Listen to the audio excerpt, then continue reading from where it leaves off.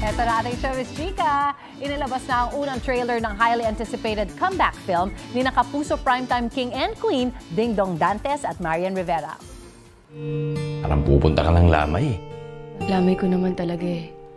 Oh, trailer pa lang, exciting na ang scenes sa Rewind. Ipinasilip ang magiging mga karakter ng Dong Yan na mag-asawa rin sa pelikula na On the Rocks ang relasyon. Kabilang ang Rewind sa mga official entry sa Metro Manila Film Festival ngayong taon. Ang Rewind ay produced under Star Cinema, APT Entertainment Incorporated at Agosto Dos Pictures. Sabi ni Marian, isang rewind sa kanyang favorite films.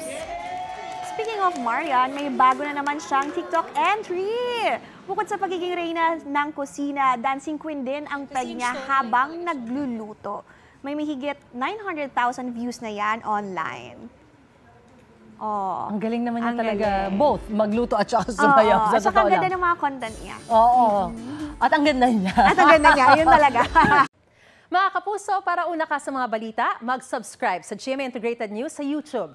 Sa mga kapuso abroad, subaybayan niyo po kami sa GMA Pinoy TV at sa www.gmanews.tv.